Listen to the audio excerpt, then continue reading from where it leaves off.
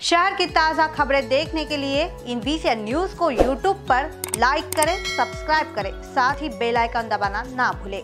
देश के प्रति समर्पित भावना, गरीब, मजमूलों और असहायों की सेवा में सदैव तत्पर रहने के लिए महाराष्ट्र राज्य के प्रख्यात आयुर्वेदाचार्य श्रीयुत रमाकांत सुरपाटने को मदर टेरेसा सम्मान से सम्मानित किया गया था।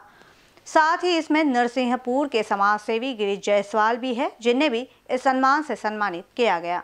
नरसिंहपुर क्षेत्र के निवासी श्रीयुत गिरीश जायसवाल और महाराष्ट्र के प्रख्यात आयुर्वेदाचार्य श्रीयुत रमाकांत सुरपाटने ने इस आधुनिक युग के इस सामाजिक जीवन में रहकर गरीबों, असहाय लोगों की न केवल मदद की, बल्कि उनका हौसला भी बढ़ाया है। इसी के साथ चिकलदरा में रमाकांत सुरपाटने द्वारा आयुर्वेदिक दवाओं के माध्यम से कैंसर, गठियावात, वात रोग, दमा आदि गंभीर बीमारियों से जूझ रहे मरीजों को अपनी निशुल्क दवाओं के माध्यम से सेवाएँ दे रहे हैं। महाराष्ट्र राज्य द्वारा उनकी सेवा भावना से प्रेरित होकर, इन संस्थाओं द्वारा समय समय पर ई प्रशस्ति पत्र देकर इन्हें नवाजती है। इस बार उन्हें मदर टेरेसा सम्मान से सम्मानित करने पर गौरव महसूस करने की बात रमाकांत सुरपाटने ने की है।